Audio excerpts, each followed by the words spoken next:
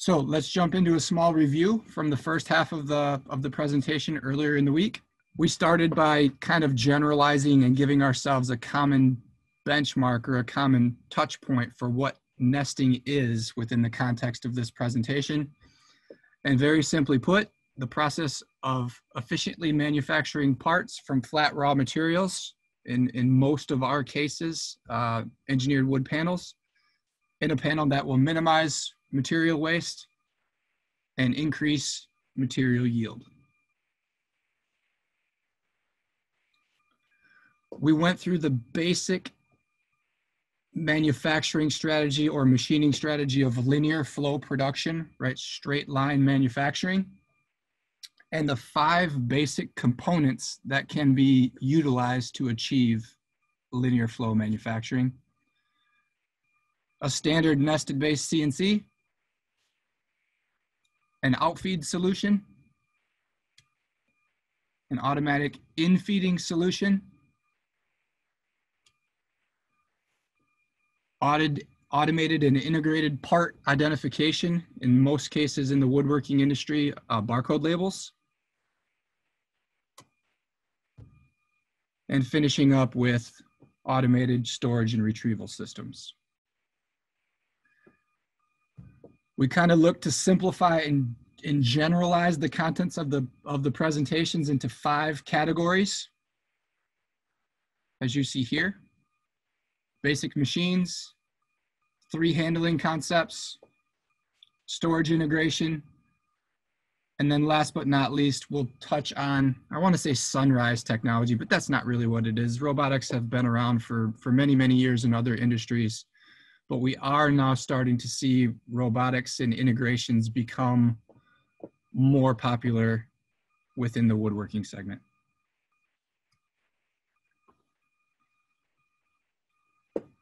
These two sections were handled on Wednesday.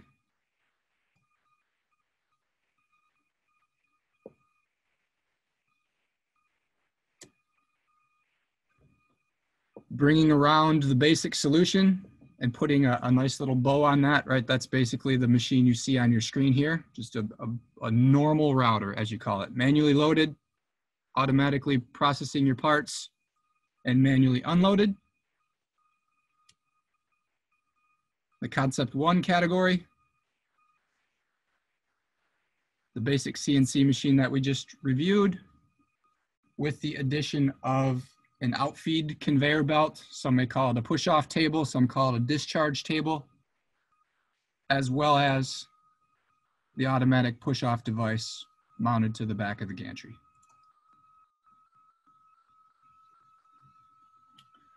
coming forward into what will be discussed new today. Concept number two, concept number three, storage systems and robotics. And with that, let's jump into today's new content. So if we visualize moving from concept one, which is the machine and the push-off system, Concept two brings in an a automatic pre-positioning device on the front end of the machine, in many cases a scissor lift.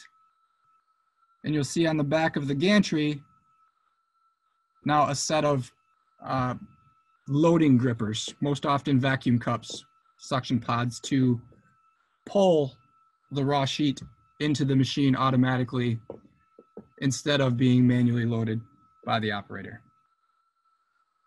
And we see that nicely described for us in this graphic. Keeping in concert with our strengths and weaknesses focus from the initial half of the presentation, I had made the point that as manufacturers, we need to be, you know, obviously in tune to the strengths of the solutions that we, we may be recommending for you. But we also have to be responsible enough to also discuss the weaknesses of the weaknesses of these solutions with you right we need to be able to bring that full understanding to you as we look to make recommendations for your current and or future investments so let's start with the, the strengths of an of a of a through feed or an automatically loaded and unloaded router we start to see uh, more consistency in terms of production velocity or throughput. And by that, I mean we're removing more requirement of the operator each level of automation that we increase on the machine. So here, um, in terms of loading and unloading, the machine always takes roughly 40 seconds to load a new panel. And it always takes roughly 15 seconds to unload a finished panel.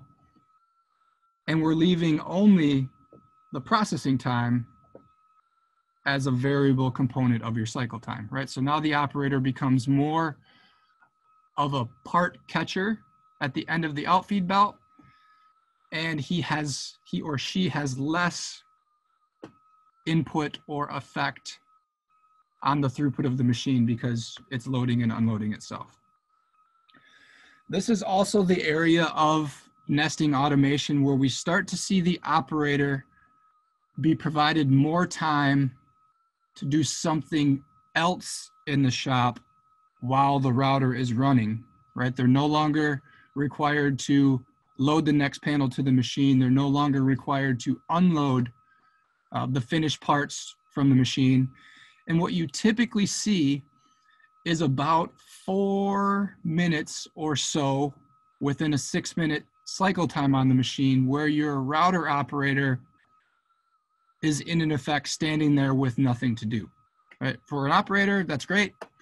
Um, as a production manager or a business owner, what else can we do with that time? Right? So when we see concept two solutions um, being utilized effectively in shops, oftentimes the operator of the machine will do something else. We've seen guys set up um, hinge insertion or hardware insertion stations where they're inserting cams or hinges or handles to doors. Other things that we'll see um, if you end up as a confirmat or a dowel constructor, those if those are your construction methods, an operator from a Concept 2 router may also run an automatic bore and dowel machine or a dowel shooter um, set up within a couple steps of the outfeed table. And in other scenarios where we have uh, machines that are running running long nests. So instead of a six minute cycle, maybe it's a 10 or a 12 minute cycle. Um, we may even see CNC operators double up as an edge bander operator um, as long as it's paired in the general vicinity of the machine. Um, and of course, when you're not required to load 65 to 100 sheets of 4 by 8 material or 5 by 10s or 5 by 12s, depending on the size of your CNC, you do see less operator fatigue, right? They have the a similar amount of energy on Monday uh, that they will on Friday because they're just not we're just not wearing them out as much as we would with a, a semi-manual or full manual machine. Uh, weaknesses, of course, this is important to understand also. Um, as we grow in automation and as we grow in our ability to introduce linear flow into the shop, we also become long, right? We become more linear. So in this case, um, you got roughly a 12 foot router, you're gonna have a 12 foot scissor lift, and you're gonna have a 12 foot outfeed table. So the length of that solution um, becomes long. And if we're working with limited floor space and, and smaller shops and or expensive real estate, um, it is important to understand the footprint that the machines will require within the shop I think there is an, um, a weakness within the next couple levels of automation that we'll, we'll, we will discuss, and it's an emotional weakness in terms of as manufacturers and companies looking to make investments, we are emotionally led to believe, or we, you know, we believe it ourselves, that the more automation we invest in, the faster the machine is going to produce right? And there is some truth to that, but it's largely application based, meaning if we revert back to the concept one scenario where we're automatically unloading a finished nest, but we're manually loading it, if we take the emotion out of it and you have an operator that can consistently load a raw board to the router in 45 seconds or less, that operator with a push off machine is going to achieve the same levels of throughput as the concept two solution that will automatically load itself in about 45 seconds of cycle time. So I always throw caution and make some recommendations to get beyond the emotion of what you believe is best and really work with your chosen sales partner to get down into the details and the data and understand how each of those may look within your particular application, right?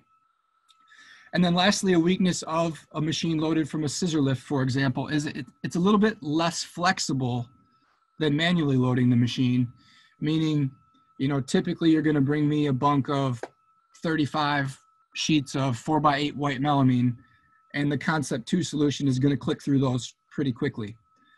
Now, if you say, instead of running 35 sheets of white the first half of the day, I wanna run five whites, five reds, five blues, five greens, and five five foot by five foot Baltic birch plywood pieces. Now we're looking at having to change that material over on the scissor lift three or four or five times. And in most cases, it takes about 10 minutes to change over the scissor lift. So that could be anywhere from 30 minutes to 50 minutes where the machine is not running um, because you have a lot of variation on the front end. The other solution to that is build what we call a rainbow stack, right? You pre-build the bunk of materials before you put it on the scissor lift, and then the machine runs what it needs in that order. Uh, but you also got to consider that you're investing labor and time into pre-building a stack of material for the scissor lift.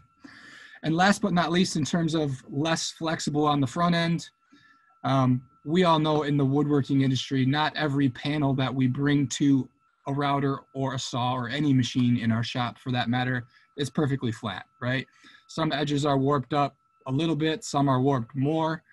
And when you're dealing with a concept two solution, the position of the raw board on the scissor lift is the orientation of that board when the machine grabs it and it brings it in. So if we run 10 sheets from the scissor lift and the 11th sheet is warped up like a like a U, the machine's going to load it in and and likely not be able to fixture all those parts because of the warp of the machine.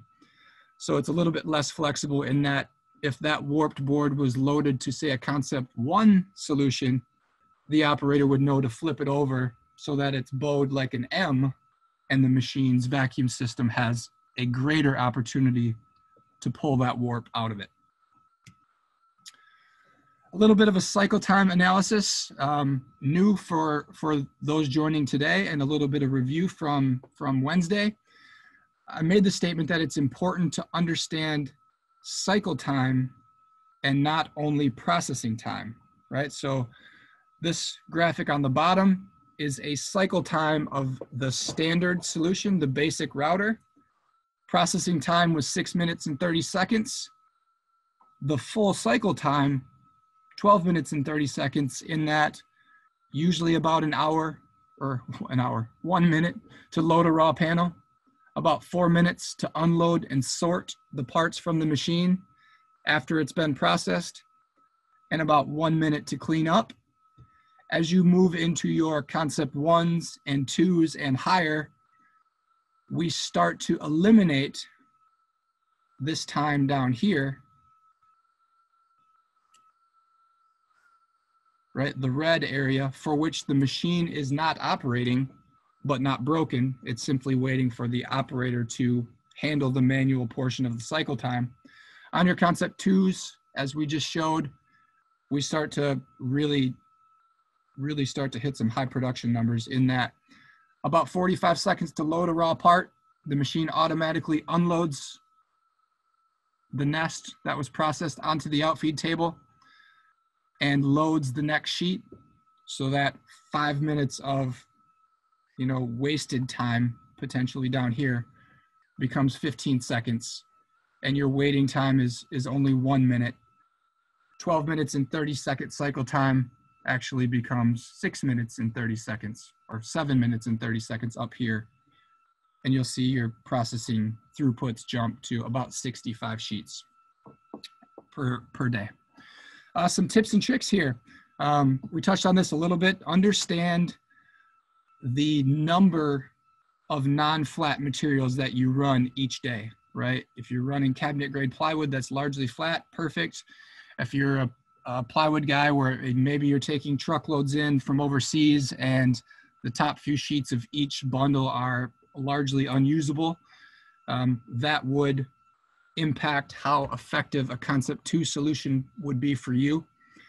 And then lastly, material mix. Understand that there is downtime of the machine related to changing over materials on the scissor lift and or also understand if you're willing to uh, invest time in creating rainbow stacks of materials to help minimize the number of changeovers of your scissor lift you would utilize within a given day. Here we're going to throw this over to uh, the Stiles Showroom in our East Building campus here in Grand Rapids, Michigan, and we're going to run you through uh, Concept 2 cycle time demonstration. So it looks like we're picking this demonstration up about mid-cycle. The vertical drilling of the program has been completed by the machine. And we are now into the part formatting or part sizing portion of the routine. So if you recall back to Wednesday, we ran the really ugly yellow board.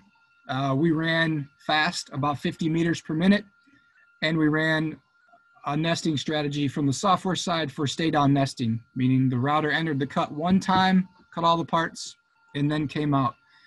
In this particular nest, we're not running an ugly yellow board, obviously. Um, we're not running stay down nesting, where if you watch the router here, each time it processes one of the parts, it exits the part and moves to the next. And we're also running what I would say more of a, of a traditional processing speed. Uh, a nice three flute tool running at, I believe, 30 to 32 meters per minute, um, in contrast to the 50 that we ran on the smaller machines in Wednesday's demonstration.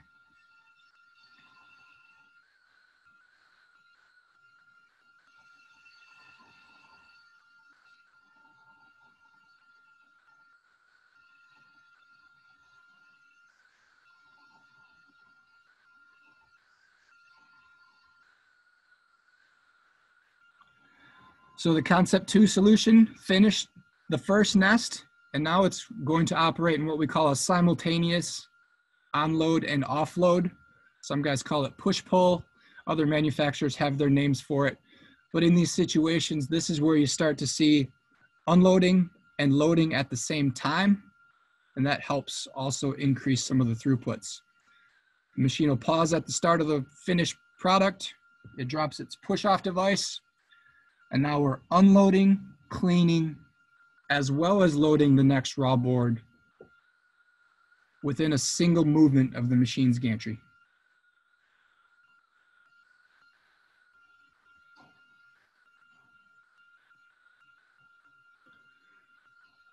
And what you're watching here, this is how this particular machine zeroes the board in X and Y on the machine table. We pull it to a reference fence in the front, and there's a laser light in the front that gives us an accurate loading position of that, of that raw board. In this case,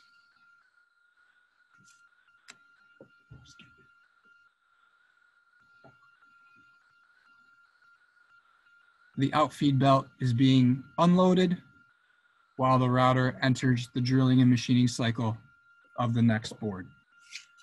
Moving up to the third level of automation from concept two to concept three. What we see here now is the standard machine, the outfeed system, the infeed system, and concept three introduces automatic part identification or barcode labeling prior to the raw board being machined.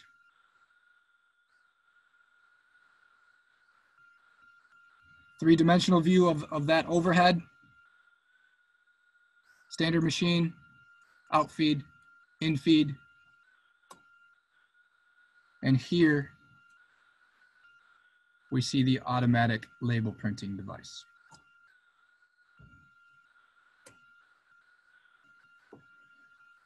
There are strengths and weaknesses of this solution as well.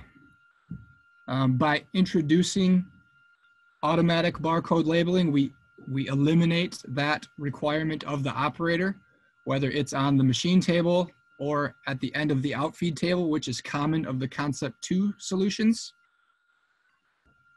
The system is able to orient the label to a specific edge of the part. So why is that a strength? Why do we care about that? When you start to look at investing in automation at the concept three level, we're really looking to take responsibility for as much of the process as we can.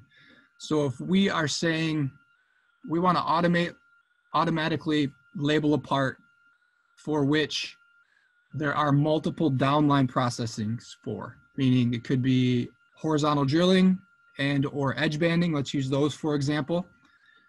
You can create labels that will specifically guide the operator, whether at the router or somewhere else downline, to say this part gets red edge banding on this edge, white on the left edge, blue on the right edge, and nothing on the fourth edge, right? And if the machine or the system isn't able to correctly orient the label to the edge of the part prior to machining, you're not able to do that, right? Um, in most cases, when parts are label edge orientation specific, it's an operator that's doing that, right? But in terms of, of that operator, he, typically he or she is a little bit more experienced and you're always kind of wondering what happens if he or she chooses not to work for me any longer, right? This type of concept three solution can help simplify what the operator is required to do while not minimizing the ability of the machine to direct future processes. Uh, there are some weaknesses. Uh, the same thing with that emotional appeal. It's, it's the same as the concept two. Just because we automate in-feed label printing doesn't guarantee that it's faster than a concept two machine with an operator labeling at the outfeed. What it does guarantee is that there's less thinking required of the operator related to labeling than utilizing a manual or a semi-manual approach. Uh, I always say labeling is an art, um, and it's true, right? Are we using paper paper labels? Are we using mylar labels? What size labels do you want to use? Are you including graphics uh, within the barcode? How much information do you want to to provide to your shop within the barcode. It's not as easy as just sticking the sticker on the part, right? We're taking that decision that's often made from the shop floor and with an automatic labeling system, we're now making that choice in the in the in the programming office, right? We're doing all of this with the software program and sending the information to the machine. So it's important to remember um, that as you kind of step into this level of automation, and lastly, this is often overlooked, uh, textured melamines really gaining popularity here um, in North America. And if you look at a, a deeply textured melamine panel and you stick a sticker on it, there's just not much surface area for that label to adhere to. So as you pre-label a textured melamine board and you run it through a nesting process, your dust brushes are dragging over that label. Some machines have protective flap scenarios that are also dragging over that label. And there's almost a guarantee that not all of your labels on a textured melamine nest will stick all the way through to the outfeed table, right? So just kind of think about that. If that's a, a, a portion of your business, uh, make sure we understand how we're going to handle the textured melamines as it relates to label application. Uh, some tips. Um, we kind of touched on this a little bit. Uh, consider a relabeling strategy, textured melamines being a big one, um, but also four standard labels as well, right? You may lose one throughout the nest, and it's common for concept three solutions to also be integrated with a with a solution for uh, manually applying labels at the outfeed, uh, either for textured melamines that we may choose not to pre-label, or regular product that may lose a label through the machining process and the operator can quickly re-identify that part after processing.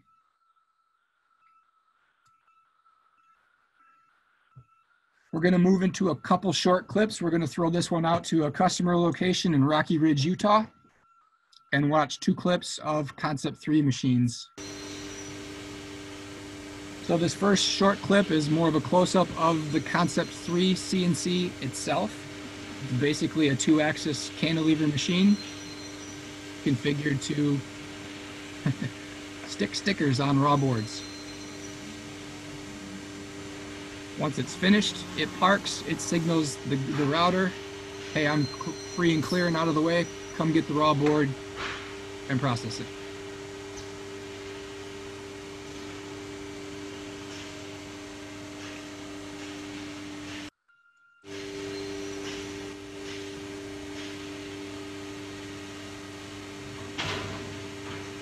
And then the second video, same machine, similar process, a little bit more of a wide view. Here you'll get to see the, the printer and the router operating simultaneously.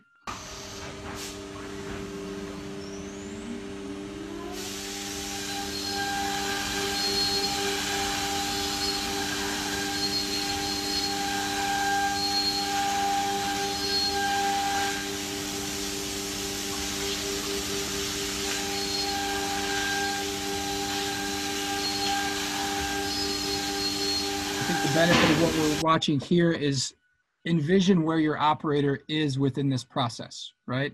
He or she is at the end of the outfeed table, removing finished parts that are already pre-labeled, carting them up, getting them down to the next process, and possibly having the time to run a secondary uh, process as well. Moving from concept three now into CNC nesting strategies integrated into storage and retrieval systems.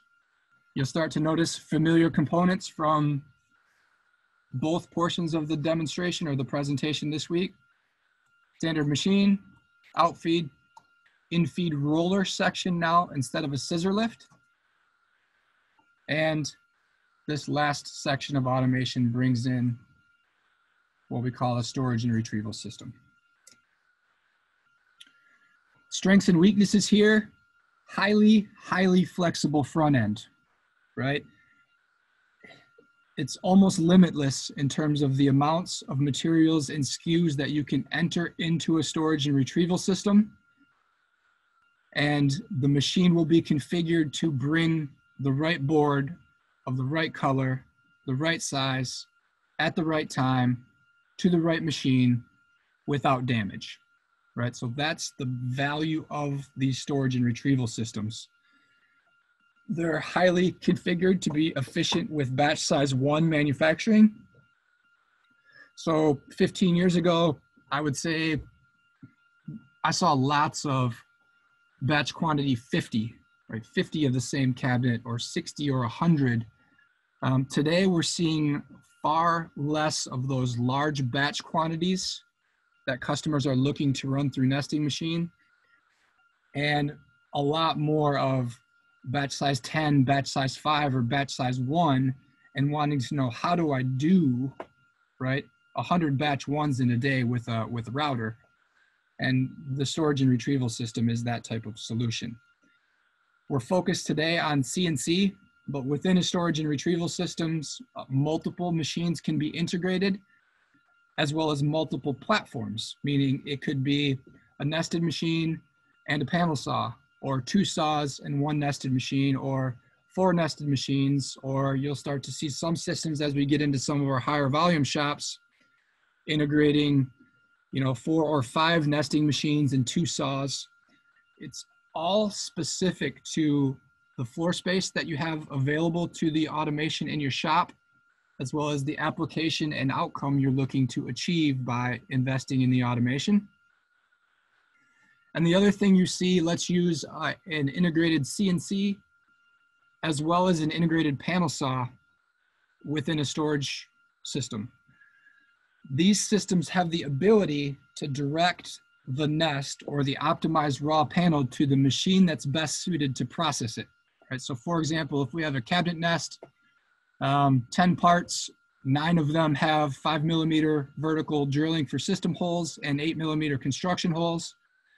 The system is going to decide to send that panel to the router, right? Because it has the ability to size the parts as well as vertically drill them.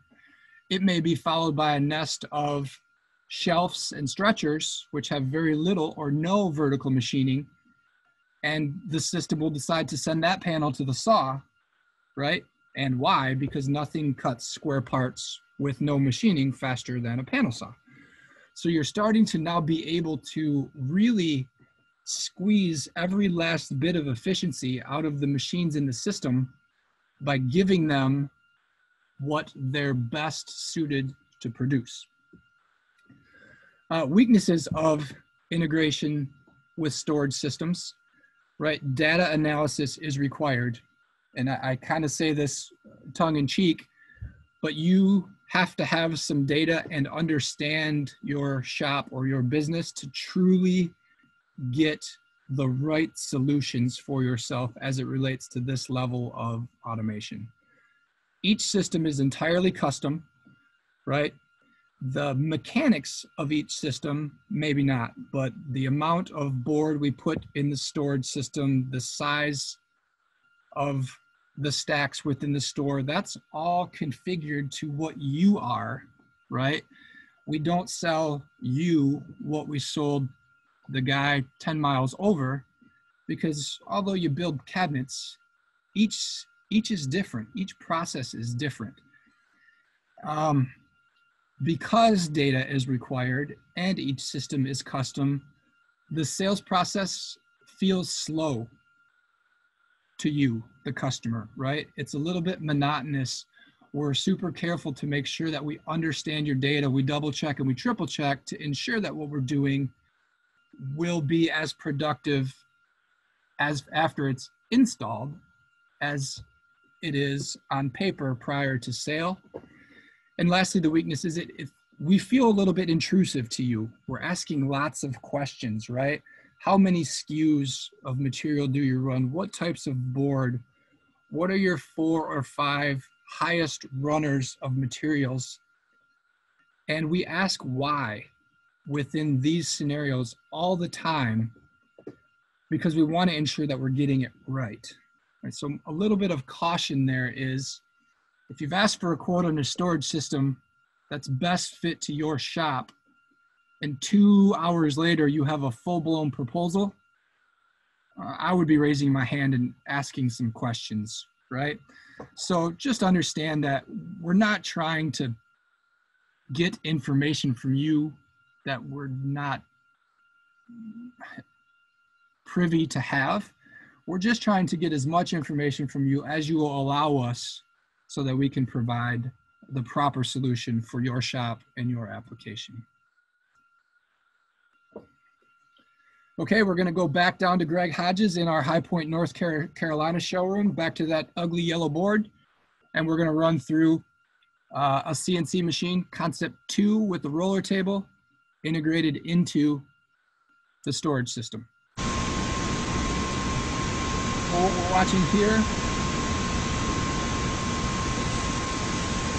first board preloaded to the roller section by the Vortex system automatically outside of the storage unit so the router loading device has access.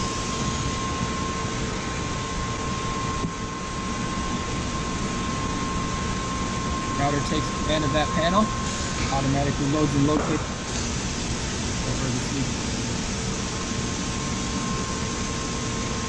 Once it's loaded, the router will signal back to StoreTech that, hey, I'm out of your way safe to drop that next board on the roller conveyor.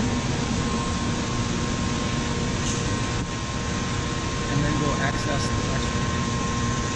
So when we say always have right right at the weight at the right time without delay and without damage, that process that we just saw there, all that mechanically. Uh, if you look at what's happening here, we saw the loading device of the storage system kind of hanging over the machine waiting after it uh, dropped the second panel on the machine. That cycle time is available to the to the store tech to do things that we explained in the slide before. Load a saw, load another router, um, but also bring new raw material into the storage system, as well as potentially build rainbow stacks of material to an outfeed station that you may utilize for a CNC or a saw that are non-integrated into the store tech, right? So the point I want to make there is you may have a, a, saw that's in good operating condition or a CNC that's in good operating condition. Doesn't matter the brand. Um, you can utilize some of the benefits of the storage solution, pre-build bunks of, of material for those uh, outside or non-integrated machines and still increase the performance of those machines with, with StoreTech solutions. Moving from that, we'll touch a little bit on robotics and where they are finding homes within uh, the CNC woodworking and plastics industries. A couple images of some recent installations and integrations. And before discussing them, we're going to start with the video.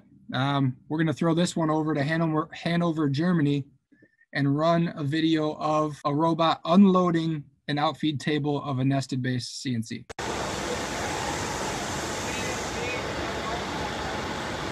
We're about three quarters of the way through unloading that nest.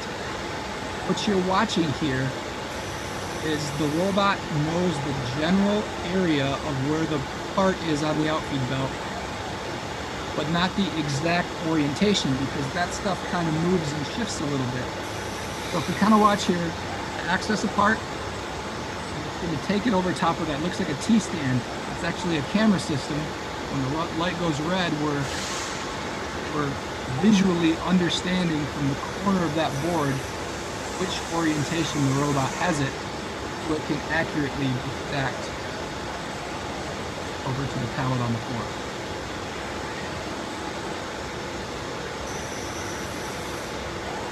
So, I don't know about you guys, but I could watch this all day, and I have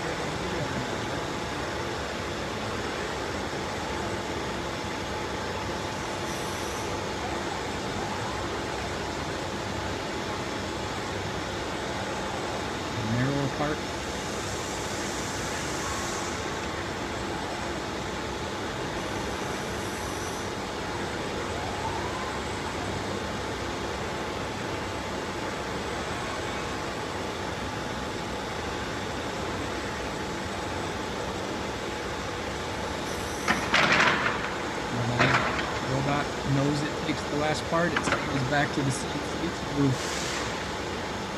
drive the off-fall and scrap off into the bins. And next part will be on its way out. So robotics, what are we looking to achieve here uh, by integrating these with nesting machines, right? We're moving towards, um, I say nearly autonomous CNC production. Um, in my opinion, there is no operatorless lights out type stuff that we're doing here yet. Um, the system still needs an operator, right? In and around it, he may be responsible for the CNC machine, the store tech, the robot, and an, an edge bander cell. But we do need somebody in and around the area that has the ability to, you know, to work with the machines within the cell if if it, if an error or something technical needs to happen. The focus with robotics and nesting at the moment is the OEMs in the market or the manufacturers of, of the equipment are largely focusing on unloading the machines or destacking, right? In my personal opinion, in terms of, let's go back to, to Wednesday, return on investment is important, right? It should be one of the most important criteria that you use to make a determination of if and when you invest in these types of technologies. For me, buying a robot to simply take parts off a nesting machine, an outfeed table or whatnot, and put them on a pallet on the floor for which a forklift or an operator with a hand truck has to come over, open a safety door, pull the parts out, and drag them over to the edge bander to be edge banded. I don't know if we're displacing enough labor to really justify the investment in the technology. Um, maybe if you tell me we're going to unload two robots with one router and stack parts on the floor, well, maybe we're getting somewhere then, in my my personal opinion. Where I believe automatic destacking of the CNCs has an ROI that is acceptable in many North American businesses, as when we're using them to automatically transport individual parts to the next process in the shop or small packages of parts to the next process in the shop.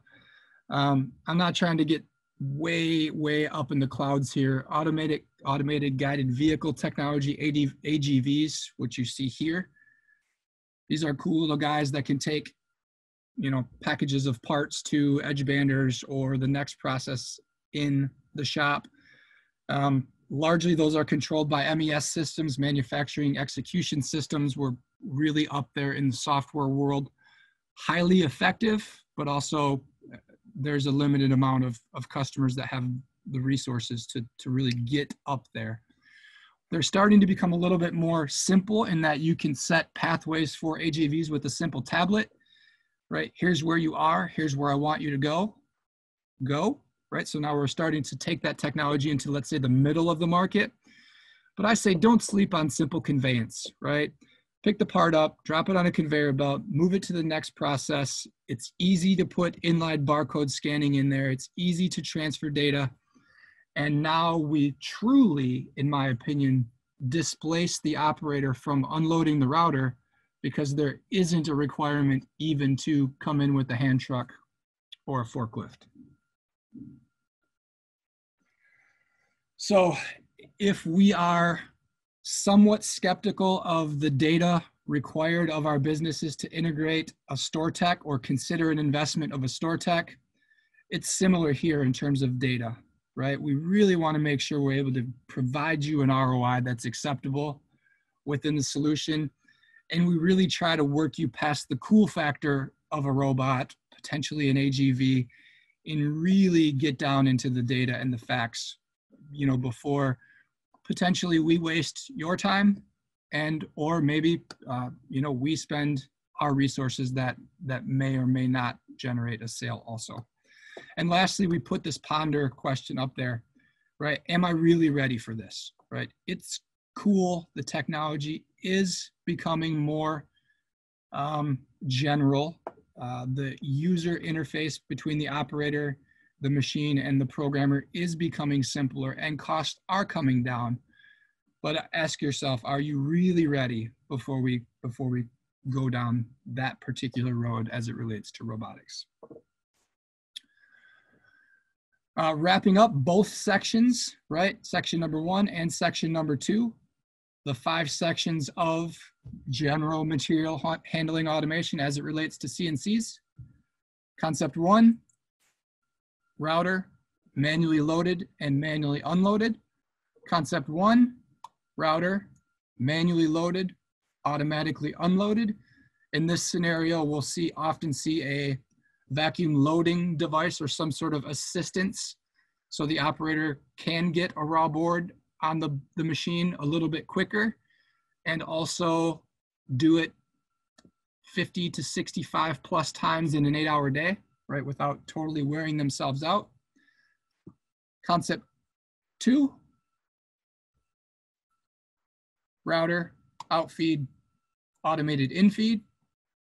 Concept three, router, outfeed, automated pre-labeling system, automated infeed, and then finishing up with the, the highest levels of automation, router, outfeed, infeed with the storage and retrieval system, and concluding with the robotics, the small time that we spent on robotics a couple minutes ago.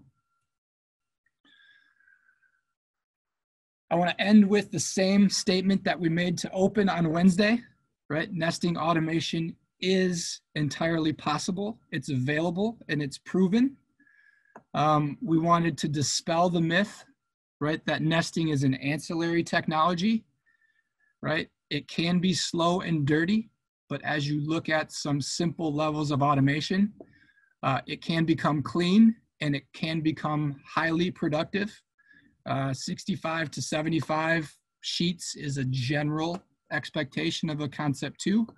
And depending on your application, we have customers out there uh, up over 100 to 125 sheets per day off that level of technology. And kind of putting a bow on that, nesting can and does drive production within our shops here in North America. Four final takeaways before we jump into some Q&A, right? Nesting is a proven yet growing manufacturing strategy. As you move through and up the levels of automation, they bring you the ability to improve efficiency, improve cleanliness, and re reduce the dependence of the operator to achieve the desired throughput. As you look at these systems and try to figure out what is best for you, right? Please form a relationship with a vendor, somebody that you trust, that you'll open up a little bit. Tell them your strengths and weaknesses. Tell them your dreams. What am I now? What do you want to be in five years or 10 years? and trust them that that information is held confidential so that we can become consultative right a consultative partner rather than a sales partner and ultimately help you let your application guide the decision on which level of automation and or if nesting is even right for you um, know that spoil board management is absolutely necessary. We spent a little bit of time on that on Wednesday. Um, and here, this last little graphic is more of a tip and a trick than anything.